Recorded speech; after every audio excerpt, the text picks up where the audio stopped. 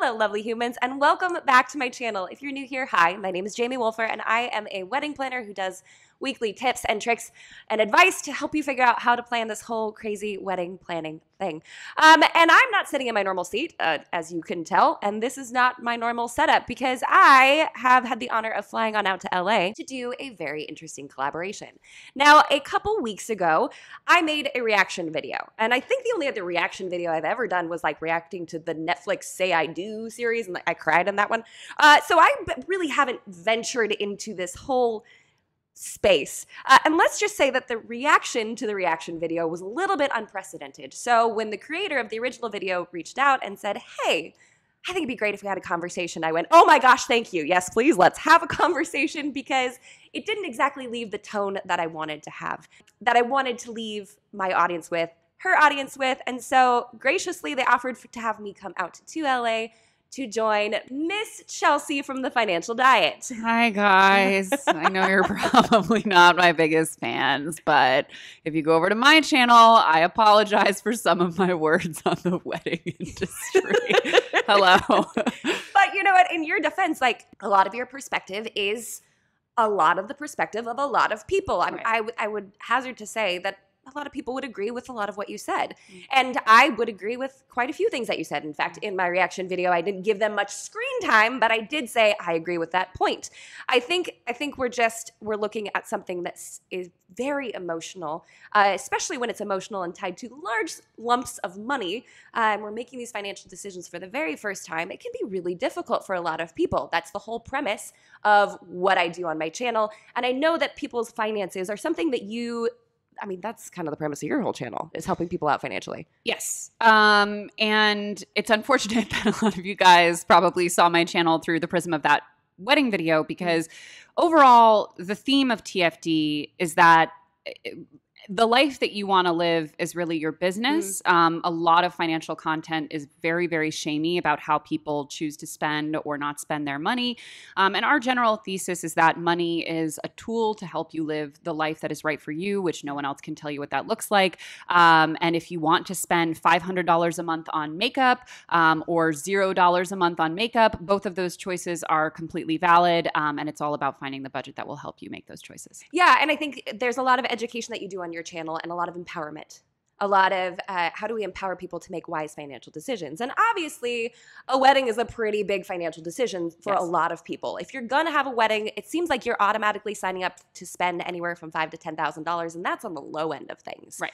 And that's a serious savings chunk for a lot of people. Yes. And, yes. And i think it's often um, one of the things that I think uh, gets people in a lot of trouble about things like weddings, uh, home buying, even having children mm-hmm. is that we often don't look at these things as first and foremost financial decisions.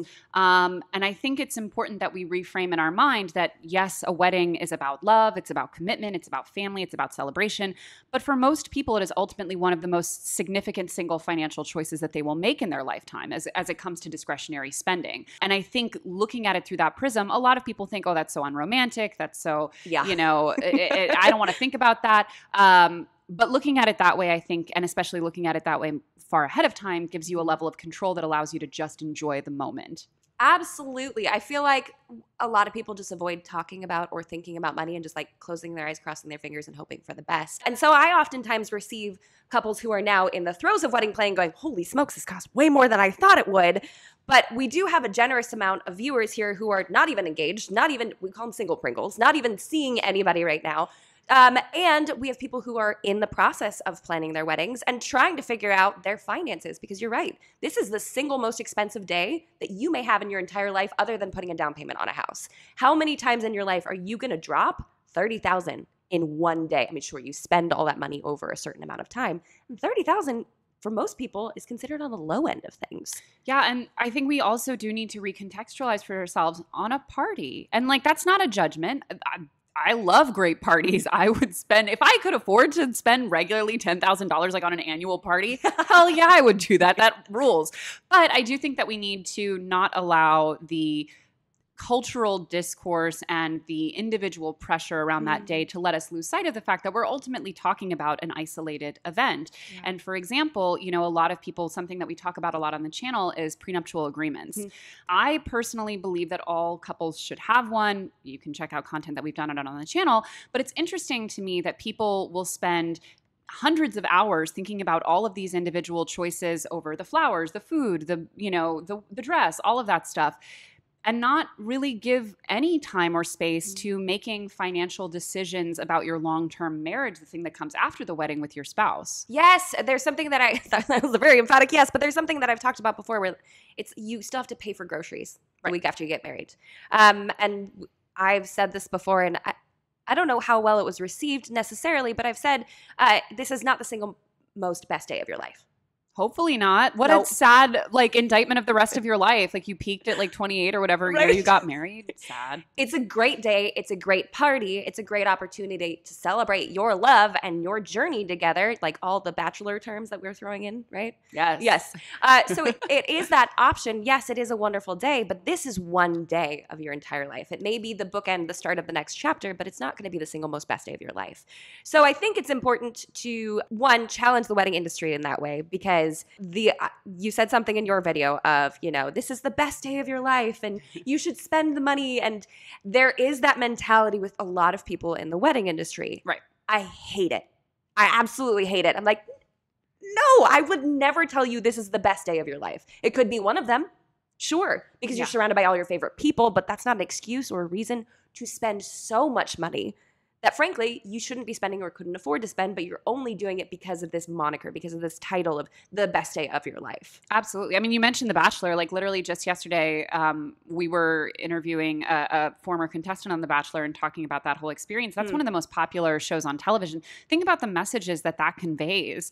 You know, the the the price of the rings that they're getting. You know, the pressure that's put on the event itself. The entire focus of it being on getting married. Like, that is an a massively powerful cultural narrative that you're and other people in the wedding industry who are trying to do this a better way are fighting against. Yeah. And that's just one show. Yeah. And that's just one portion. That's one kernel. That's, and we're also going against historically what we've been looking at for decades. I think in 2008, we saw a shift from the fancy weddings to more DIY. That's when we saw burlap, we saw lace, we saw sunflowers and baby's breath because people were getting scrappy because Yeah. financially, a lot of people had taken a big hit. And we've seen that trend really grow in the last, oh gosh, 13 years. That feels weird to say out loud. what the hell? I'm still using my mason jar glasses at home.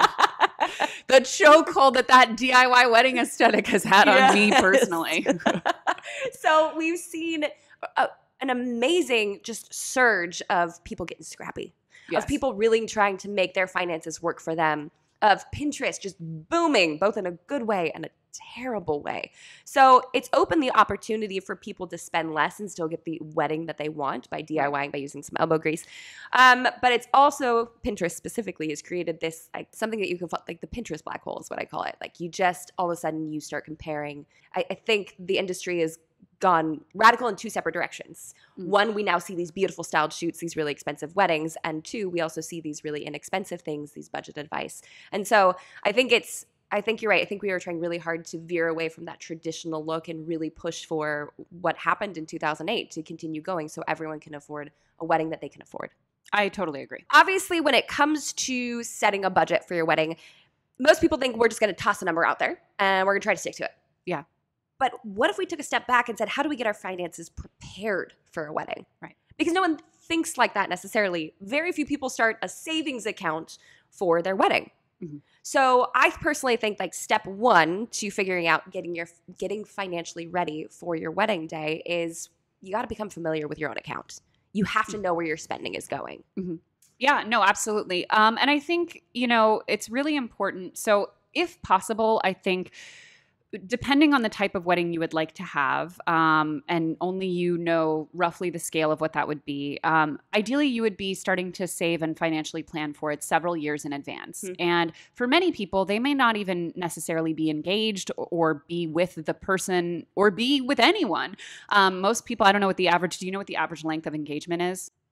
Most people say 12 months, but it's all over the place. Okay, so let's say it's 12 months. Um, that is not enough time for most people to save up five figures or more of Yeah. money. So I do think if you are the person who wants at least the option of having a larger wedding, um, and you may choose to redirect that money elsewhere. But if that's something you know about yourself, you need to make that decision it, you may not yet be with someone, you may not yet be engaged to a person you're with, but you need to make that decision several years out Mhm. and start planning for that financially. The alternative for a lot of people, there's really two practical alternatives is they will take money from other uh, people in their life. A lot Mhm. of times people are helped financially by people like family members.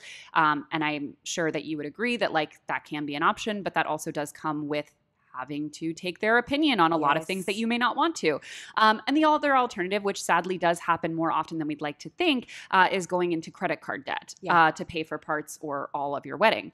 Um, so if you want to be able to do it financially in a very proactive and um, self-contained way that's something you're going to want to plan for years in advance and that's also something that you're going to want to do as you mentioned like in tandem with all of your other financial decisions like Yeah. you said like you have to buy groceries the next uh, day after you get married so having that focus of not just thinking about the wedding you want, but actively weighing those wedding choices against other financial choices because you really can't do it all at once. So for example, do you want a, you know, a, a large venue where you can receive 200 people and have them all, you know, covered for food and beverage? Or do you want to have a much smaller wedding and be able to like get a new car in a Yeah. similar range of time? Things like that. So I think not just thinking about what you want in a vacuum, because in a vacuum you probably want everything, but also thinking about it in comparison with other financial choices around that similar time scale that you'll be making. Yeah, my husband and I had this saying for so long, you know, if, if we decide to get Taco Bell or something, we're like, oh gosh, we probably shouldn't. Okay, do we want Taco Bell or do we want a house? Yes. And it's the most ridiculous comparison. Obviously, buying Taco Bell and buying a house are two very different things. Right. But it was about reframing how we viewed our finances. And I think if you get on board with figuring out wedding finances early, perhaps even before you're engaged, you could be by yourself. But if you start to train yourself with good money habits of I'm not going to buy Taco Bell, instead I'm going to put this into a different account to help cover a big cost one day. And that's the deal. It doesn't have to be for your wedding.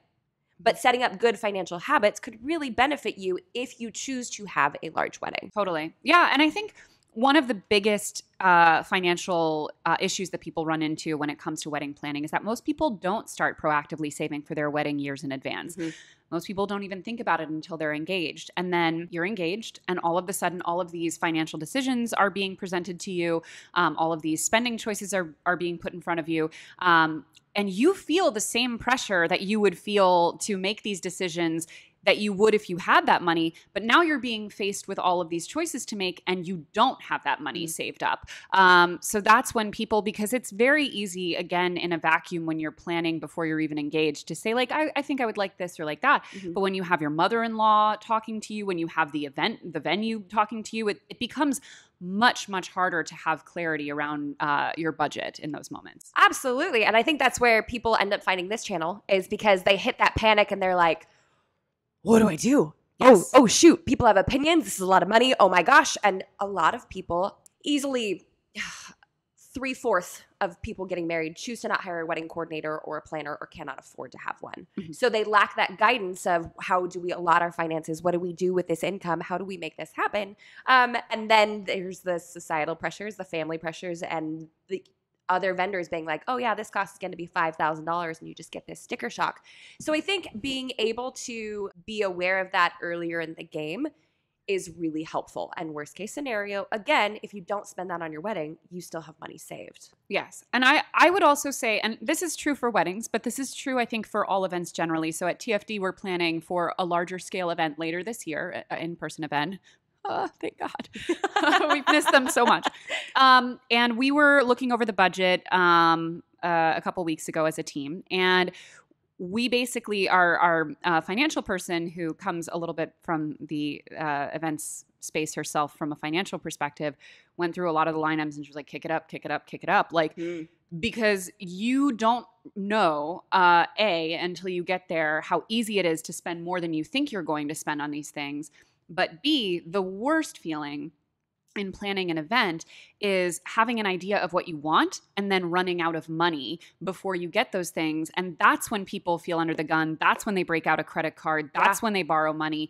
Um, so, really, not only planning for the event that you want, knowing what that costs, but giving yourself wiggle room in the budget, overestimating your cost, making sure that you're thinking about things like tipping out your service staff, making sure you're thinking of things like um, if one of your bridal party can't afford the dress that you want them to wear, do you have a budget to cover that so they don't have to give up being a bridesmaid? Like thinking of those costs that aren't necessarily on, you know, the bill that you might be handed, but are likely to become part of that event. Yeah, and that's one thing that we cover, at least in the budget on the master plan, is there's a 10% uh, miscellaneous fund. And that's Yes. for, um, I wasn't expecting this. Oops, there's an extra fee that was added on that I didn't see coming. Or the third option is my favorite. I thought I was going to DIY this, but now I don't want to. So I'm just going to go ahead and chuck money at it because I had big, ambitious ideas in my head. And now we're two weeks away and I'm going to cry. So just spend money on it. Which is also why we allocate certain percentages to certain areas of your budget. Like X amount should be spent on your venue. That doesn't mean that you have to stick to that number exactly, but if you know that typically speaking, a venue is going to take up 19 to 20% of your budget, if you overspend in that area, it doesn't necessarily make another area cheaper. Right. So I think having that aw- awareness as well of uh, just because you want to splurge on one area doesn't make something else less expensive. You need to know that early on. Otherwise, you'll run into that exact situation where you're like, oh, shoot, I don't have flowers. I want flowers. I'll just use a credit card. And then it just starts to snowball from there. Totally. And this is why we recommend something we call sinking funds. We don't, we didn't name that, but like it's called a sinking fund. Basically, it's a savings fund that is for a specific goal. Hmm. Um, we recommend A, that this savings account exist uh, at a different bank than whatever your checking account is, because Hmm. you do not want to be able to access that money easily. You don't want to be able to go to the ATM and transfer money over from it to your checking account. Um, we also recommend that you change the account number, whatever it's like 259, whatever, to the name of what it is. Yeah. Um, and for something as large scale as a wedding with so many different components, I would actually recommend several sinking funds for either different components of that mm-hmm. wedding that you can sort of rank by priority. Or different tiers of that wedding. Like you are able to save up this much and it will give you that wedding. And then you have a few spillover, like if you want to maybe save more for a slightly more luxe experience or to be able to do certain things. But for example, with a wedding, you can have one sinking fund that's just for the wedding itself, Hmm. and then maybe another sinking fund that's for the rehearsal dinner beforehand, Yeah. or that's for the bachelorette trip, or that's for you know something you'd like to do for your bridal party. Um, but making sure that these are very dedicated and separate savings goals. That means separate from your emergency fund, separate from your retirement, all of that stuff. Um, and again, doing that early on. Like if you are a person who knows you want a large wedding. You're ideally saving at least three, four years in advance. Yeah, which is I know for so many people sounds like goals. Right. It- it- like that sounds amazing. In fact, we had someone we have a, a podcast that's geared towards wedding professionals, and we had someone come on who's works in the finance space, and she had seventeen thousand dollars saved before she even met her husband. And I was like, girl, give me some of that. How does that work?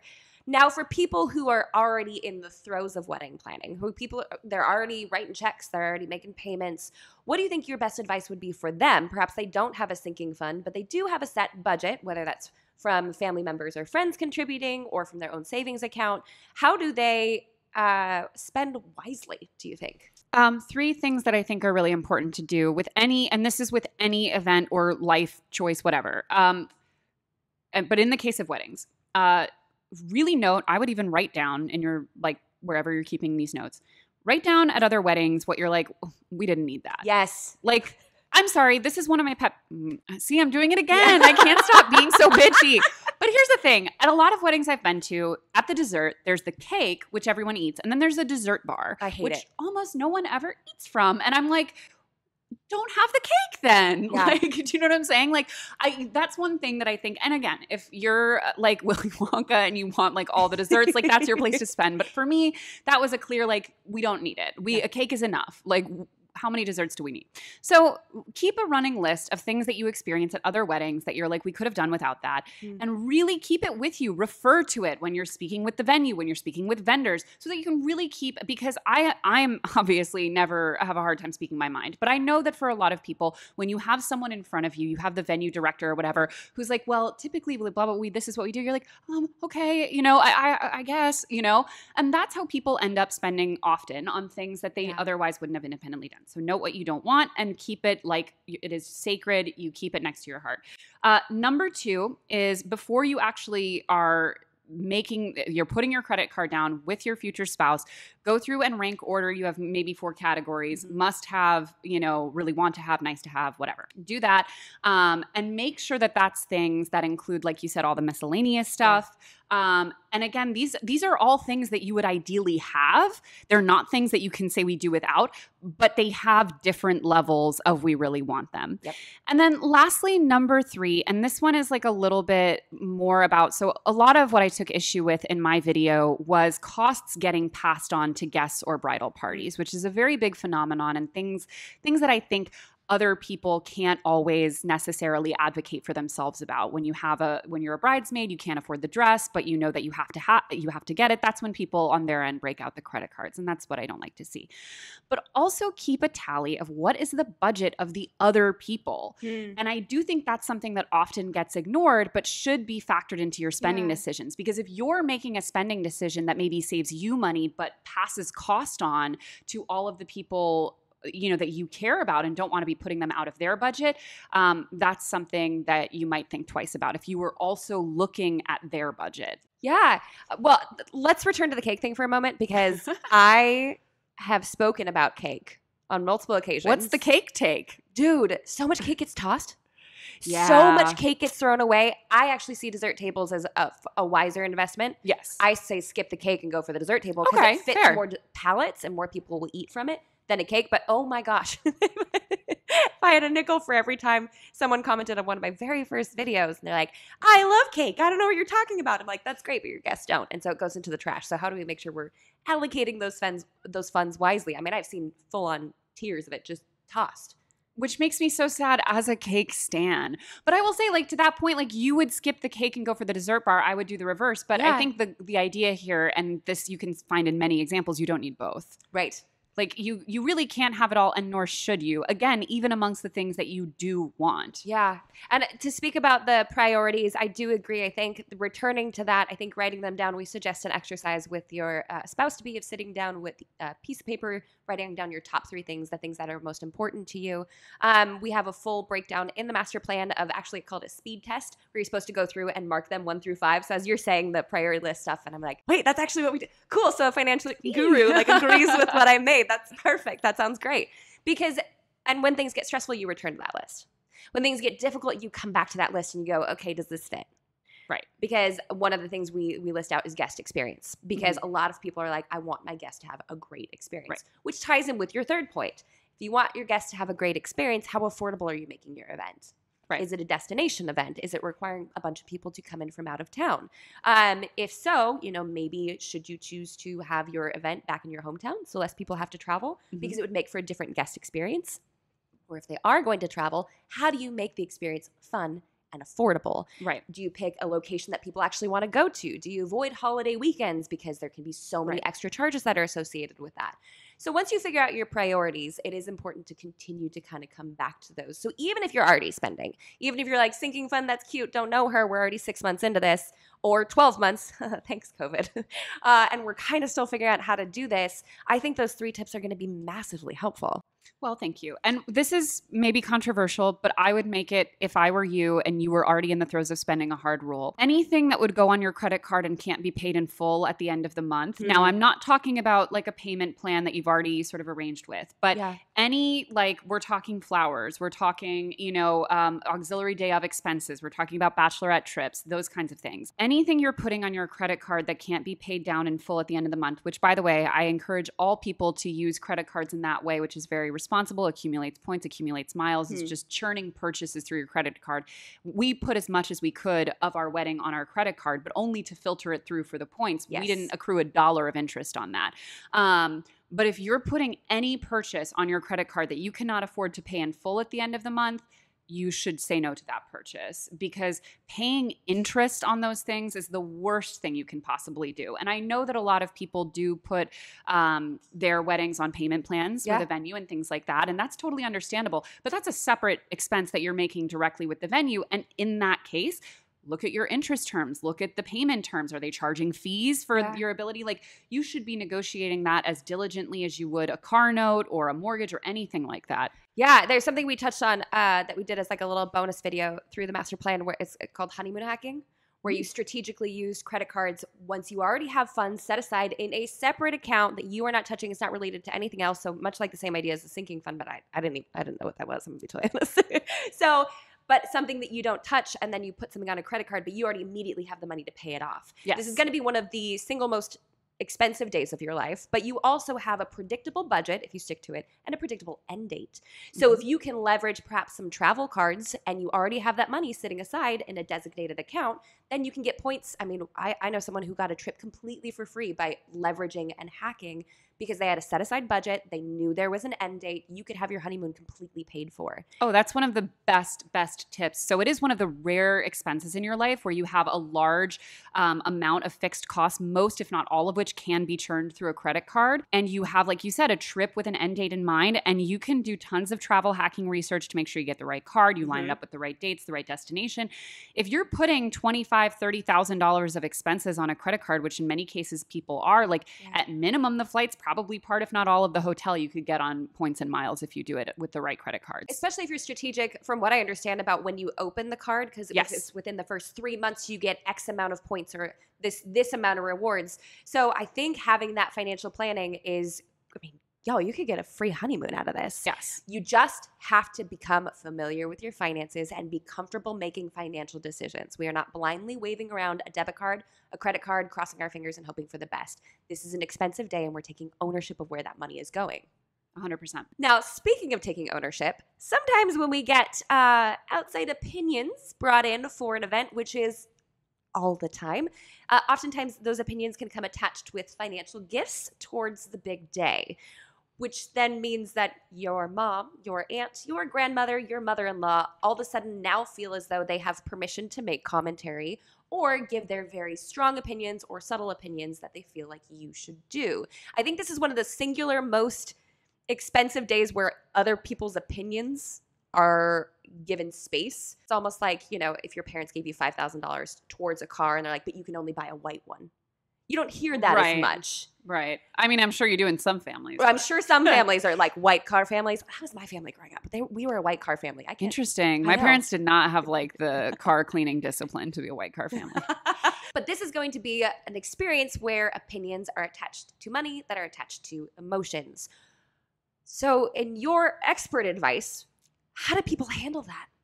Okay, so I really wish that I could like Little Mermaid style give all of you watching an amulet with like my ability to be like absolutely not to people. Um because that is a skill like Yeah. anything else that is an absolute skill. I think for a lot of people when it comes to setting financial boundaries with others it's very helpful to have scripts. It's very helpful to Mm. role play like with your spouse like you know you're going to have a conversation with a family member who's going to have opinions that you need to set boundaries around, you know, ha- knowing what you're going to say in advance.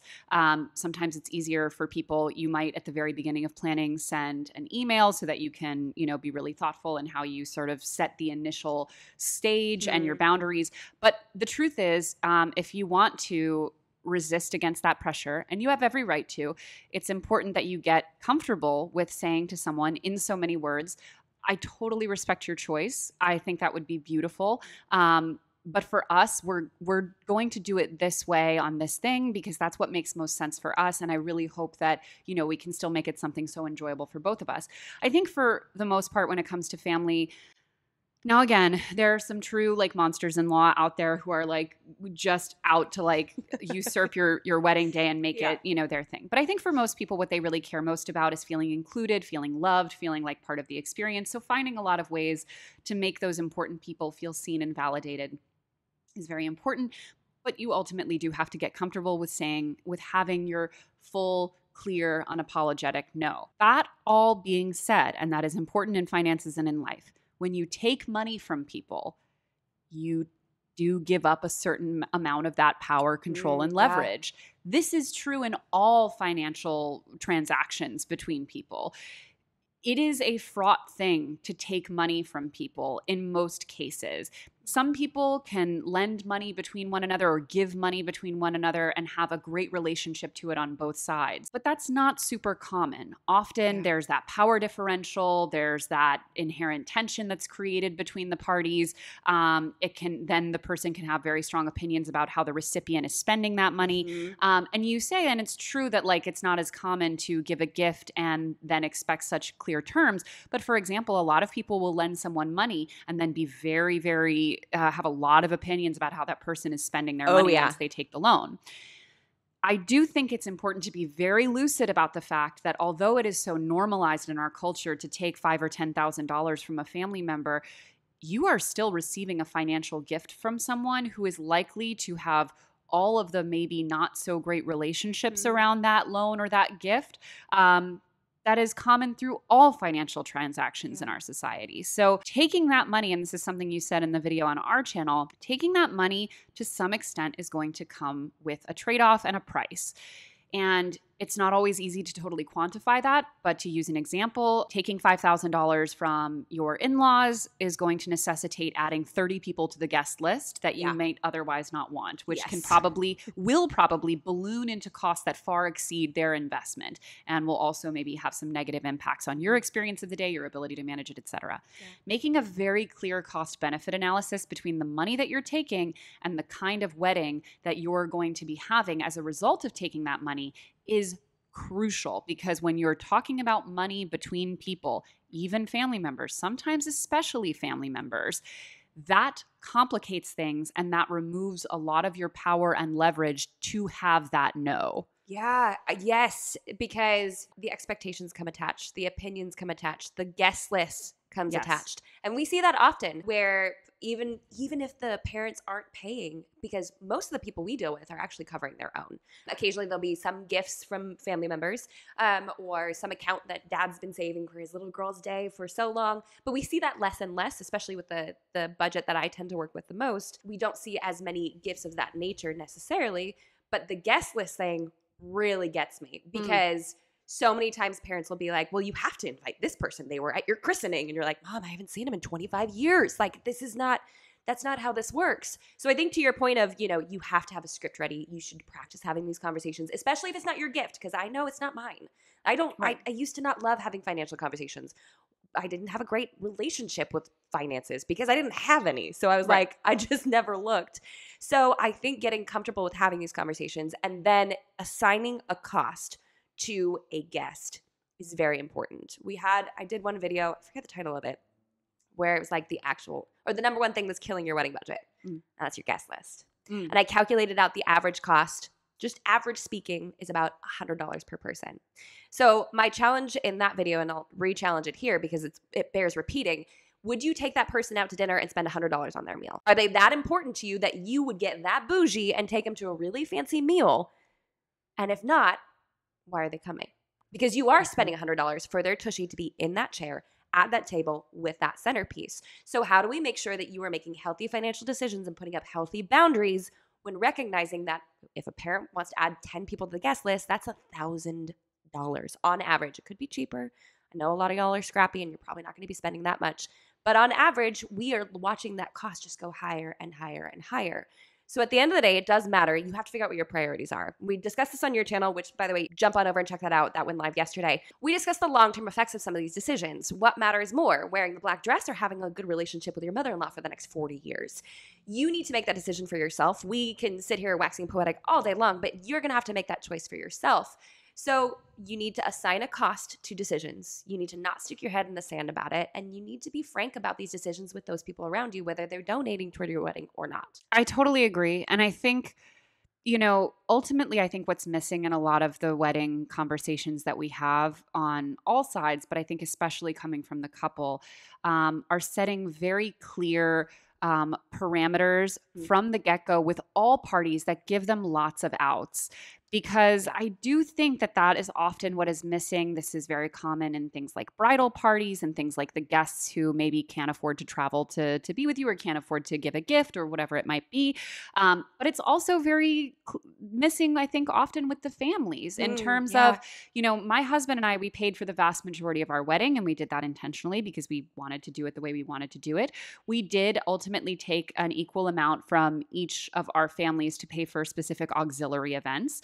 Um, but we're very clear with them from the get go of, you know, if you want to give us this gift, we're so happy to take it. Mm. Um, we're not going to change the guest list. We're not going to change the location, things like that. Yeah. So they still obviously um, generously gifted us that money, and we're both, you know, obviously happy with the outcome of how the, you know, the the week turned out and everything. But it was a huge relief going into even accepting that money, Mm. knowing that they were very clear on what the money did and didn't mean. Um, and I think similarly for all of the other people who are involved in that day, having those very frank conversations up front about not only, you know, this is what I'm asking of you, but this is also how I can help you. These are the boundaries up front, you know, uh, or, or, you know, for people, as I mentioned earlier, who may not necessarily be- be able to afford everything that you're asking of them to attend or be part of your wedding, making sure that you have a frank conversation with them up front of like, let me know if any of this is an issue. We've got ways we can work around it, etc. Um, I think having those conversations up front in the very beginning stages um, helps set the terms because it, we can want to avoid to have those frank financial conversations or set those boundaries because it can feel unpleasant and we can sometimes think, oh, it might dampen the magic of the moment. Yeah. But it's exactly that lack of clarity that creates people feeling conflicted, feeling pressured, um, feeling resentful, um, or feeling like they have to succumb to one another's pressure, whether it's your pressure of accommodating your mother in law or your bridesmaid's pressure of accommodating the expensive dress you want her to buy, but she can't really afford. Like, we need to relieve that unspoken pressure on all sides by setting clear boundaries up front. And I mean, you're absolutely right. And this is not the first time you're going to have these conversations in your life. Hell no, it ain't. It's like this is just the beginning of so many fin- financial conversations you're going to have with your partner, really and truly, because you're going to make big financial decisions moving forward. Think of planning a wedding as your first crash course in like organizing your finances collectively. Absolutely. And I, as a last note on the couple thing, so as I mentioned, I do feel strongly that most, if not all, couples should have some kind of a prenup and should have all kinds of very intimate financial conversations before even considering getting married. Um, and if you want to know why, again, channel. But I also think one dynamic that I've personally seen in a lot of people I know who've gotten married, and I'm sure you might have seen, is a woman who's very involved in the planning, in the decision making, who has a lot of thoughts on these things, and the man who's generally pretty uninvolved, pretty uninterested. Is that something you've seen?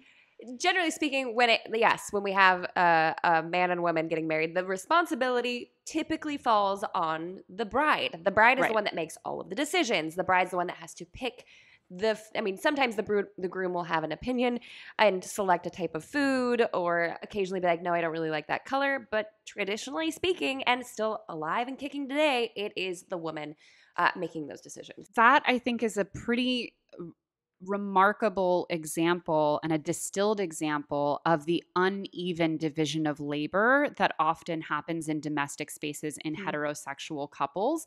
You know, women take on the majority of the domestic labor at home, even when they also work full time jobs. Women are often most involved in these sort of life planning moments, things like buying a home from a lot of the logistical or domestic perspective.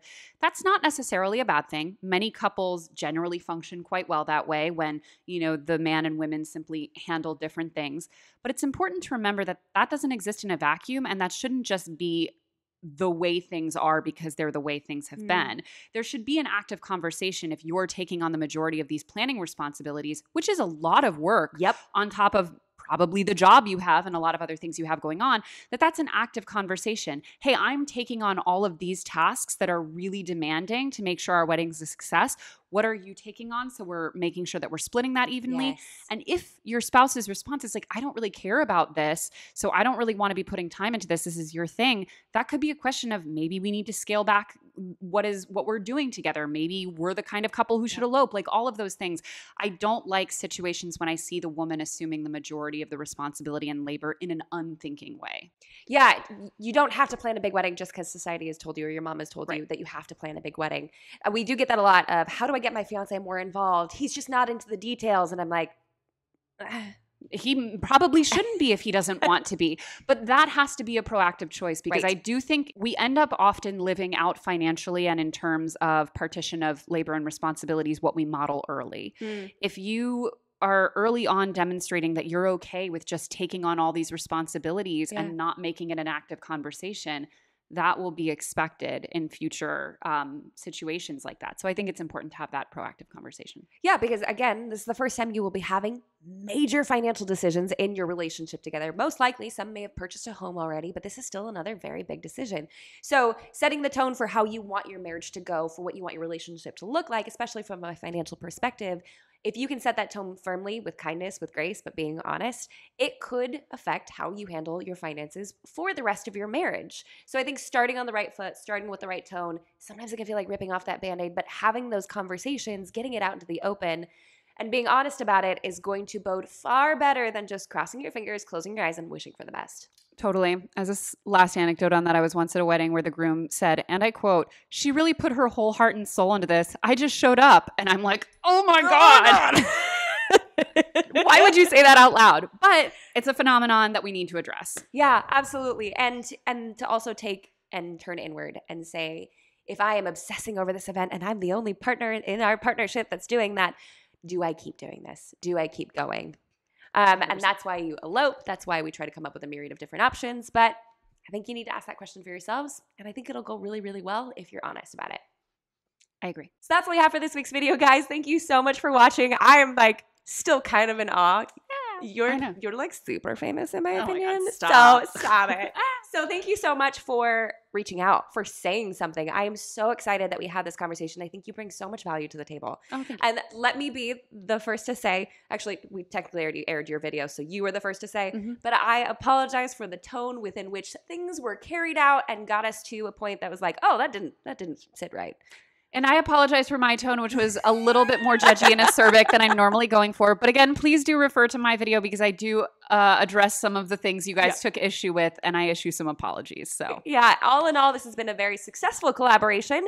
So if you did enjoy this, please be sure to check out the financial diet. We, of course, will leave them linked right here and down below um, because there's tons of financial wisdom that is coming out each and every single week. Also, subscribe. also, subscribe to this channel for uh, more tips and tricks for the modern day bride. And until next week, bye, guys. bye.